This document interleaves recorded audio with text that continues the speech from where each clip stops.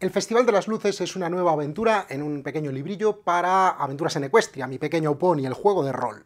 Os enseño muy rápido cómo es este librillo porque no quiero hacer tampoco ningún spoiler. Como veis es un libro así en encuadernación en tapa blanda, muy finito y por supuesto ilustrado muy chulo. Las letras me han recordado un poco al tipo Indiana Jones. Vale, aquí tenéis el Festival de las Luces, una nueva aventura para Aventuras en Equestria. Aquí empieza, es aquí, My Little Pony.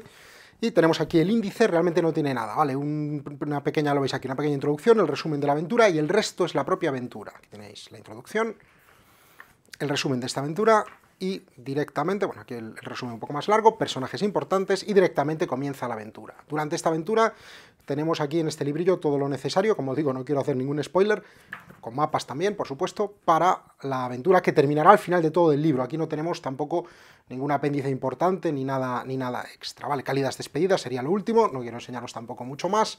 Y la parte de, atrás de, este, de esta aventura, para este curioso juego de rol, mi pequeño pony, Aventuras en Ecuestria, y una aventura, este Festival de las Luces, para meternos de lleno en él.